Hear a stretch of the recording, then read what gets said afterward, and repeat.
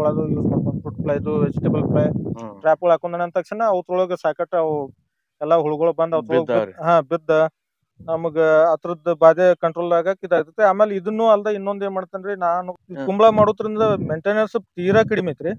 ನಡು ನಾವು inter crop ಆಗಿ ನಡು ಮೊದ್ಲು ಬೆಳೆ ಮಾಡ್ಕೊಂಡಿದ್ದು. ಈ ಕುಂಬಳ ಬೆಳೆ ಮಾಡೋದ್ರಿಂದ ಲೇಬರ್ ಸಮಸ್ಯೆನು ನಮಗ ಜಾಸ್ತಿ ಆತಲ್ರಿ ಹಾ ಜಾಸ್ತಿ ಆಗ್ತಲ್ಲ. ಮತ್ತ ಇದಕ್ಕಾದ್ರೂ ಔಷಧ ಇದ್ದ ಇದು ಕಡಿಮೆ ಐತ್ರಿ. ಕಡಿಮೆ. ಆಮೇಲೆ ನಮ್ಗೆ ಇತ್ತು ಸಾಕಟ್ಟಿದೆಲ್ಲ ಎಲ್ಲಿ ಐತಲ್ರಿ. ಇದೆಲ್ಲ ಹೊಳ್ಳಿ ಎಲ್ಲಿ ಮತ್ತ್ ಉಳ್ಳಿ ಇಲ್ಲೇ ಬೀಳುತ್ತಂದ ಇದ್ದು ನಮಗ್ ಮುಂದ ಗೊಬ್ಬರ ಗೊಬ್ಬರ ಗೊಬ್ಬರ ಆಗ್ತೈತ್ರಿ. ರೈತ ಬಾಂಧವರಿಗೆ ನಮಸ್ಕಾರ. ನಾನ್ ನಿಮ್ಮ ರಂಗು ಕಸ್ತೂರಿ ಮುಡುಬು. ಇವತ್ ನಾವು ಬೆಳಗಾವಿ ಜಿಲ್ಲೆಯ ಉಕ್ಕೇರಿ ತಾಲೂಕಿನಲ್ಲಿದ್ದೀವಿ. ನಮ್ಮ ಆತ್ಮೀಯ ಗೆಳೆಯರಾದಂತ ಕಾಡಪ್ಪ ಪೈರಸಿ ಅವರ ತೋಟಕ್ಕೆ ಬಂದಿದ್ದೀವಿ. ಇವತ್ತು ವಿಶೇಷವಾಗಿ ಕುಂಬಳ ಬೆಳೆ ಬಗ್ಗೆ ಮಾಹಿತಿ ಪಡ್ತಾ ಇದ್ದೀವಿ. ಸಾಮಾನ್ಯವಾಗಿ ಕೆಲವಷ್ಟು ಜನ ಮಾತ್ರ ಕುಂಬಳಕಾಯಿನ ಬೆಳಿತಾ ಇರ್ತಾರೆ.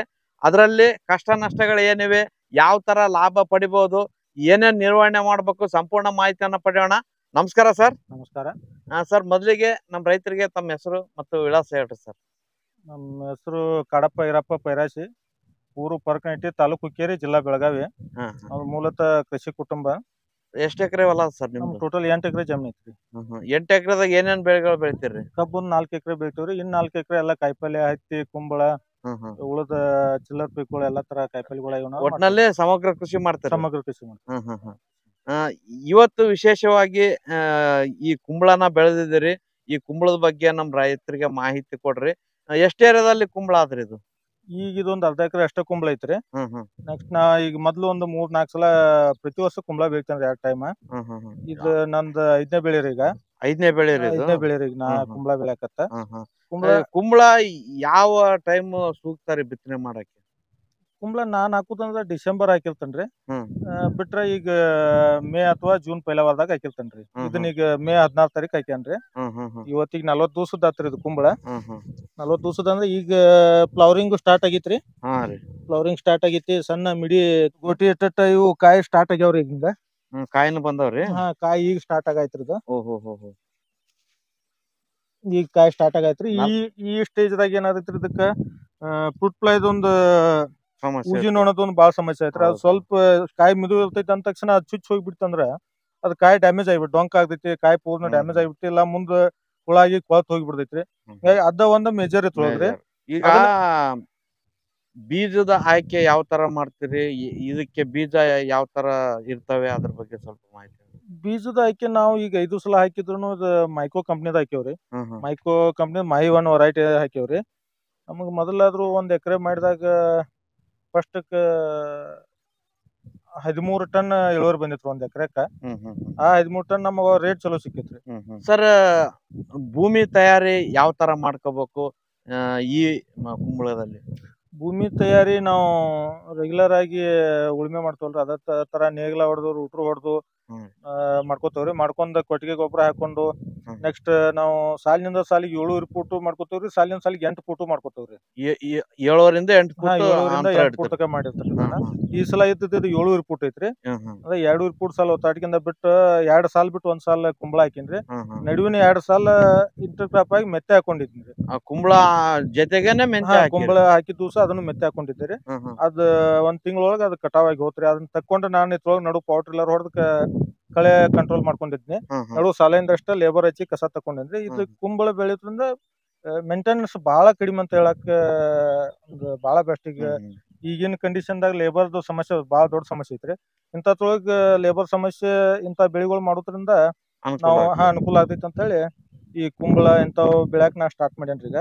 ಈಗ ಬೀಜದಿಂದ ಬೀಜಕ್ಕೆ ಎಷ್ಟು ಅಂತರದಲ್ಲಿ ನಾಟಿ ಮಾಡಿರಿ? ಬೀಜದಿಂದ ಬೀಜಕ್ಕೆ ಇದನ್ನ ನಾಲ್ಕು ಫೂಟ್ ಮಾಡೇನ್ರಿ ನಾಲ್ಕು ಫೂಟಿಗೆ ಒಂದ್ ಬೀಜ ಹಾ. ನಾಲ್ಕು ಫೂಟಿಗೆ ಒಂದ್ ಬೀಜ ಹಾಕೇನ್ರಿ ಹ್ಮ್ ಹ್ಮ್ ಹ್ಮ್. ನಾಲ್ಕು ಫೂಟಿಗೆ ಒಂದ್ ಬೀಜ ಹಾಕೇನ್ರಿ ಎರಡು ಸೈಡ್ ಹಾಕೇನ್ರಿ ಜಿಗ್ ಜಾಗ್ ಸಿಸ್ಟಮ್ ಒಳಗೆ ಎರಡು ಸೈಡ್ ಹಾಕೇನ್ರಿ ಹ್ಮ್ ಹ್ಮ್. ಸಾಲಿನ ಸಾಲಿ ಏಳು ಫುಟ ಬೀಜದ ಬೀಜಕ್ಕೆ ನಾಲ್ಕು ಫೂಟ್ ಮಾಡ್ಕೊಂಡು ನಡು ಜಿಗ್ ಜಾಗ್ ಸಿಸ್ಟಮ್ ಒಳಗೆ ಮಾಡ್ಯಾನ್ರಿ. ಹ್ಮ್ ಹ್ಮ್. ಈಗ ನಾಟಿ ಮಾಡಿದ್ಮೇಲ್ರಿ ಮ್ಯಾಲ್ರಿ ಆ ಇದು ಮೊಳಕೆ ಬಂದ್ಮೇಲೆ ಅದಕ್ಕೆ ಏನೇನ್ ಸಮಸ್ಯೆಗಳು ಬರ್ತವೆ? ಆ, ಸ್ವಲ್ಪ ಸ್ಟಾರ್ಟಿಂಗ್ ಟ್ರಿಪ್ಸ್ ಅವು ಇವು ಕಾಡ್ತಿರ್ತಾವ್ರಿ ಹ್ಮ್. ಸ್ವಲ್ಪ ಏನೋ ಹಂಗೇನ್ ಜಾಸ್ತಿ ಇದಕ್ ರೋಗದ ಹಂಗ್ ಕಡಿಮೆ ಇರ್ತೈತ್ರಿ ಹ್ಮ್. ಆದ್ರೂ ಒಂದು ಸ್ಪ್ರೇ ತಗೊಂಡ್ ಕಂಟ್ರೋಲ್ ಮಾಡ್ತಾವ ನಾನ್ ಜಾಸ್ತಿ ಸ್ಟಿಕ್ಕಿ ಗಳು ಹಾಕೊಂಡಿದ್ದೆ ರೀ ಈಗೆಲ್ಲ ಅವು ಗಿಡ ಹೈಟ್ ಆಗನ ಕಾಣೋಲ್ರಿ ಈಗ ಹ್ಮ್ ಹ್ಮ್. ಸ್ಟಿಕ್ಕಿ ಟ್ರ್ಯಾಪ್ಗಳು ಅದು ಹಾಕೊಂಡಿರ್ತೇನ್ರಿ ಹಿಂಗಾಗಿ ಅದ್ರದ್ದು ಏನ್ ಔಷಧ ಅದು ಏನ್ ಇದು ಬರಲ್ರಿ ಇಲ್ಲಿ ತಕ್ಕಂದ್ರೆ ಅಂದ್ರೆ ಇದಕ್ ಒಂದ್ ಸಲ ಅಟ್ಟ ಔಷಧ ಸ್ಪ್ರೇ ಮಾಡ್ಯಾನ್ರಿ ನಾನು ಹ್ಮ್ ಹ್ಮ್. ಈಗ ಹೂವಾಡೋ ಹಂತಕ್ ಬ ನಲವತ್ ದಿನಕ್ಕ ಹೂವಾಡೋ ಹಂತಕ್ ಬರ್ತದ್ರಿ ಮಿಡಿ ಹೂವು ಬರ್ತದ್ರಿ ಹ್ಮ್. ಆ ಟೈಮ್ನಲ್ಲಿ ಏನ್ ಗಮನ ಕೊಡ್ಬೇಕು ಇದಕ್ಕೆ ಮೇಜರ್ ಆಗಿ ಅಂದ್ರೆ ಇದು ಫ್ರೂಟ್ ಫ್ಲೈ ರೀ ಹ್ಮ್ ಹ್ಮ್ ಹ್ಮ್ ಫ್ರೂಟ್ ಫ್ಲೈ ಇದನ್ನ ಒಂದು ಸಣ್ಣ ಒಂದು ಇಷ್ಟ ಸಣ್ಣ ಒಂದು ಇದ ಸ್ಟಾರ್ಟ್ ಆತ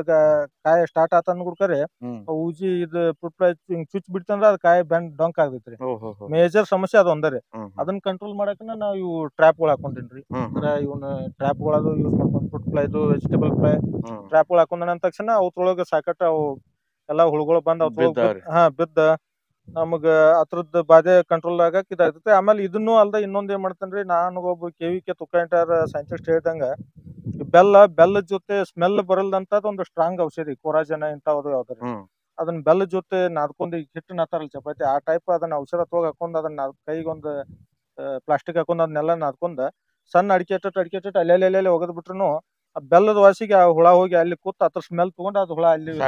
ಆ- ರೀತಿನೂ ಕಂಟ್ರೋಲ್ ಮಾಡ್ತಾನ್ರಿ. ಟ್ರ್ಯಾಪ್ಗಳು ಹಾಕೊಂಡು ಕಂಟ್ರೋಲ್ ಮಾಡ್ತಾರೆ ಹ್ಮ್ ಹ್ಮ್ ಹ್ಮ್. ಒಳ್ಳೆ ಐಡಿಯಾ ಮಾಡಿರಿ ಸರ್. ಈಗ ಈ ಹಂತದಲ್ಲಿ ಸ್ಪ್ರೇ ಏನ್ ತಗೋಬೇಕಾಗ್ತದೆ? ಕಾಯಿ ಬಿಡೋ ಹಂತದಲ್ಲಿ? ಈಗ ಇವಕ್ಕೊಂದು ಮೈಕ್ರೋ ನ್ಯೂಟ್ರಿಯೆಂಟ್ ಅದು ಕೊಟ್ರೆ ಬಹಳ ಅನುಕೂಲ ಆಗ್ತೈತ್ರಿ ಹ್ಮ್ ಹ್ಮ್. ಏನ್ ಪೊಸಿಷನ್ ನೋಡ್ಕೊಂಡ್ ಕೊಟ್ಟವ್ರು ಇಲ್ಲಾಂದ್ರೆ ಏನ್ ಕೊಡಲ್ರಿ? ಹ್ಮ್ ಹ್ಮ್.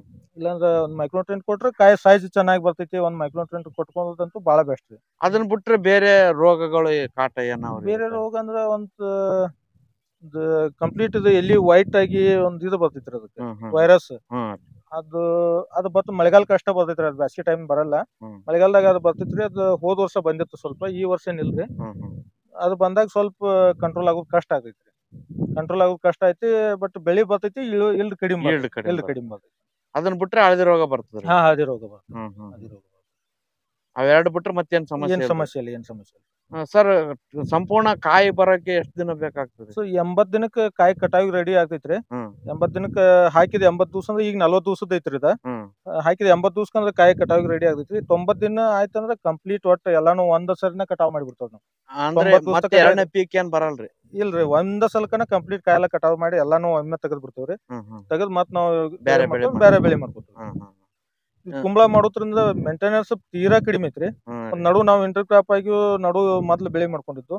ಈ ಕುಂಬಳ ಬೆಳೆ ಮಾಡೋದ್ರಿಂದ ಲೇಬರ್ ಸಮಸ್ಯೆನು ನಮಗ ಜಾಸ್ತಿ ಆಗ್ತಲ್ರಿ. ಹಾ ಜಾಸ್ತಿ ಆಗ್ತಲ್ಲ. ಮತ್ತ ಇದಕ್ಕಾದ್ರೂ ಔಷಧ ಇದ ಇದು ಕಡಿಮೆ ಐತ್ರಿ. ಕಡಿಮೆ. ಆಮೇಲೆ ನಮ್ಗೆ ಇದು ಸಾಕಟ್ಟು ಇದೆಲ್ಲ ಎಲ್ಲಿ ಐತಲ್ರಿ. ಇದೆಲ್ಲ ಹೊಳ್ಳಿ ಎಲ್ಲಿ ಮತ್ತ ಹುಳ್ಳಿ ಇಲ್ಲೇ ಬೀಳೋದ್ರಿಂದ ಇತದ್ದು ನಮಗ್ ಮುಂದ ಗೊಬ್ಬರ ಗೊಬ್ಬರ ಗೊಬ್ಬರ ಆಗ್ತೈತ್ರಿ. ಗೊಬ್ಬರ ಆಗೈತ್ರಿ ಈ ತರ ಇವು ಕಾಯಿ ಆಗಿರ್ತೈತಲ್ರಿ ದಿವ್ಸ ದಿವ್ಸಿನ ನಮಗ ಹದಿನೈದರಿಂದ ಬರುತ್ತೆ. ಹಾ ಇಪ್ಪತ್ತಿಂದ ಕಾಯಿ ಸೈಜ್ ದೊಡ್ಡದಾಗಿ ಬಿಡ್ತೈತಿ ಬಹಳ ಫಾಸ್ಟ್ ಬೆಳವಣಿಗೆ ಐತಿ ಸರ್ ಹದಿನೈದು ಇಪ್ಪತ್ತು ದಿನದಾಗೆ ದೊಡ್ಡದಾಗ ಪ್ರತಿ ದಿವಸ ಸೈಜ್ ಅದಕ್ಕೆ ಜಾಸ್ತಿ ನ್ಯೂಟ್ರಿಯೆಂಟ್ಸ್ ಕೊಟ್ಟಂಗೆಲ್ಲ ಇನ್ನು ಇನ್ನು ಚೆನ್ನಾಗಿ ಹಾ ಇನ್ನೂ ಚೆನ್ನಾಗಿ ಬರುತ್ತೆ.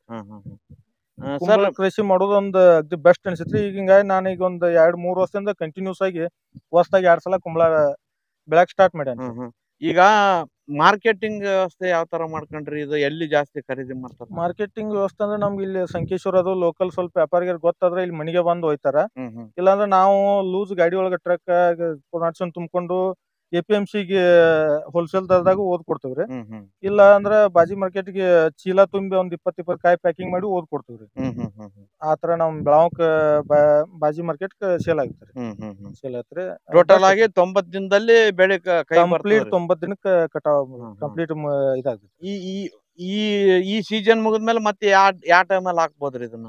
ಇದು ಕಂಟಿನ್ಯೂಸ್ ಹಾಕ್ಬೇಕ ಹಾಕಿದ್ರು ಬರ್ತೈತಿ ಅಂತ ಅನಿಸ್ತೈತಿ ನನಗ. ಹ್ಮ್. ನಾನ್ ಹಾಕೋದು ಮಾತ್ರ ಹೊಸ್ದಾಗಿ ಎರಡು ಟೈಮ್ ಅಂದ್ರೆ ನಮ್ದು ಮೇ ಅಥವಾ ಜೂನ್ ಮೇ ಹದಿನೈದರಿಂದ ಜೂನ್ ಪೈಲ ವಾರದ ಒಳಗಡೆ ಹಾಕಿರ್ತೇನ್ರಿ. ಹ್ಮ್. ಇಲ್ಲ ಅಂದ್ರೆ ಡಿಸೆಂಬರ್ ಡಿಸೆಂಬರ್ದಾಗ ಹಾಕಿರ್ತೇನೆ ಹ್ಮ್ ಹ್ಮ್.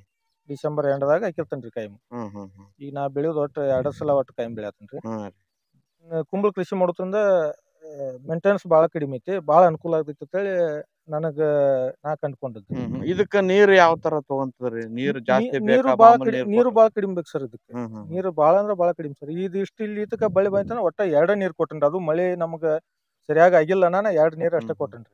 ಅತ್ ಇನ್ನೊಂದ್ ನೀರ್ ಕೊಟ್ಟರೆ ಇದು ಕಂಪ್ಲೀಟ್ ಕ್ರಾಪ್ ಮುಗಿದ್ಬಿಡ್ತು ಈಗ ನೀರಾವರಿ ಇಲ್ದವ್ರು ಒಣ ಬೇಸಾಯದಲ್ಲಿ ಇದನ್ನ ಬೆಳಿಬಹುದೇನ್ ಸರ್ ಮಳೆ ಮೇಲೆ? ಬೆಳಿಬಹುದು ಬೆಳಿಬಹುದು ಸರ್. ತುಂಬಾ ತುಂಬಾ ಧನ್ಯವಾದಗಳು. ನಮಸ್ಕಾರ. ನೋಡಿದ್ರಲ್ಲ ರೈತ ಬಾಂಧವ್ರೆ? ಆ, ಕಾಡಪ್ಪಣ್ಣವರು ವಿಶೇಷವಾಗಿ ಪ್ರತಿ ವರ್ಷನೂ ಕುಂಬಳ ಬೆಳಿತಾ ಇರ್ತಾರೆ. ಕುಂಬಳದಲ್ಲಿ ಕೂಡ ಉತ್ತಮವಾದಂತ ಆದಾಯನ ಪಡಿತಾ ಇದ್ದಾರೆ. ಕುಂಬಳದ ಬಗ್ಗೆ ಸಂಪೂರ್ಣ ಮಾಹಿತಿಯನ್ನು ನೀಡಿದರು. ಇದು ಯಾವುದೇ ಏರಿಯಾದಲ್ಲೂ ಕೂಡ ಬೆಳಿಬೋದು. ಜೊತೆಗೆ ಉತ್ತಮ ಲಾಭ ಕೂಡ ಇದೆ. ಒಂದು ಕೆಜಿಗೆ ಎಂಟು ರೂಪಾಯಿಂದ ಇಪ್ಪತ್ತಾರು ರೂಪಾಯಿವರೆಗೂ ವ್ಯಾಪಾರ ಆಗ ಆಗುತ್ತಂತೆ. ಹಾಗಾಗಿ ಕಡಿಮೆ ನಿರ್ವಹಣೆ ಕಡಿಮೆ ಖರ್ಚು ಉತ್ತಮ ಆದಾಯ ಅಂತಾನೆ ಹೇಳ್ಬೋದು. ಒಂದೊಂದು ಸೀಸನ್ ಅಲ್ಲಿ ತುಂಬಾ ಬೆಲೆ ಇರ್ತದೆ. ಹಾಗಾಗಿ ಸ್ವಲ್ಪ ಸ್ವಲ್ಪನಾದ್ರೂ ನೀವು ರೆಗ್ಯುಲರ್ ಆಗಿ ಬೆಳೆ ಬೆಳೆ ಜೊತೆಗೆ ಸ್ವಲ್ಪ ಸ್ವಲ್ಪ ಕುಂಬಳ ಹಾಕೊಂಡ್ರೆ ಅದರಿಂದ ಆದಾಯ ತೆಗಿಬಹುದು ಮತ್ತು ನಿಮ್ಮ ಇತರ ಖರ್ಚುಗಳನ್ನು ಮೇಂಟೈನ್ ಮಾಡ್ಕೋಬಹುದು ಈ ರೀತಿಯಾಗಿ ಕುಂಬಳ ಬೆಳೆ ಇದೆ. ಅದ್ರ ಬಗ್ಗೆ ಸಂಪೂರ್ಣ ಮಾಹಿತಿಯನ್ನು ನೀಡಿದರು ಕಾಡಪ್ಪ ಪೈ ಪೈರಸ್ ಅವರಿಗೆ ಮತ್ತೊಮ್ಮೆ ತುಂಬುವುದರಿಂದ ಧನ್ಯವಾದಗಳನ್ನು ತಿಳಿಸುತ್ತಾ ನಮಸ್ಕಾರ ಸರ್ ಎಲ್ಲರಿಗೂ. ಈ ವಿಡಿಯೋನ ಸುಮಾರು ಜನ ರೈತರಿಗೆ ಶೇರ್ ಮಾಡ್ರಿ. ಇವರು ಮಾಡುತ್ತಿರುವ ಕೃಷಿ ಎಲ್ರಿಗೂ ಪರಿಚಯ ಆಗ್ಲಿ. ಇದರ ಲಾಭ ಪಡಿಲ್ಲ ಅಂತ ಹೇಳ್ತಾ ನನ್ನ ಚಾನಲ್ನ ಹೊಸದಾಗಿ ನೋಡ್ತಾ ಇರೋ ನನ್ನ ಚಾನಲ್ನ ಸಬ್ಸ್ಕ್ರೈಬ್ ಮಾಡ್ರಿ ಅಂತ ಹೇಳ್ತಾ, ಮುಂದಿನ ವಿಡಿಯೋದಲ್ಲಿ ಇನ್ನೂ ಹೆಚ್ಚಿನ ಮಾಹಿತಿಯೊಂದಿಗೆ ನಿಮ್ಮ ಮುಂದೆ ಬರ್ತೇನೆ. ಅಲ್ಲಿವರೆಗೂ ನಮಸ್ಕಾರ.